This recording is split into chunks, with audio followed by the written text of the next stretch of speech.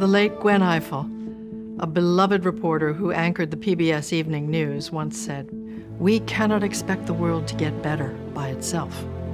We have to create something we can leave the next generation. Gwen died four years ago, and through her defense of press freedom, she has left us a legacy which we can carry forward. Gwen was a supporter and longtime board member of the Committee to Protect Journalists, which has named an award in her honor.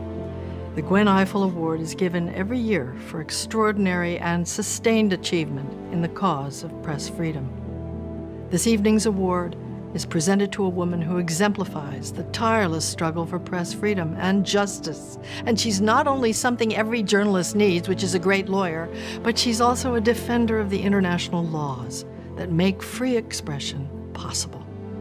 Tonight, we honor her work to ensure that governments and tyrants are made accountable for their unprecedented attacks on press freedom.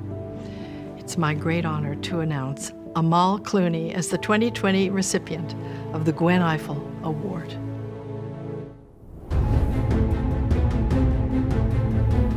Amal brings her skill as an advocate and her expertise in international human rights law to help free journalists who are unjustly imprisoned and to protect those who face such imprisonment.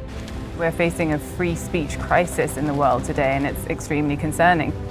Record numbers of journalists are being abused across the world through vilification, threats, surveillance, imprisonment, even murder. She has defended journalists around the world and helped win their freedom.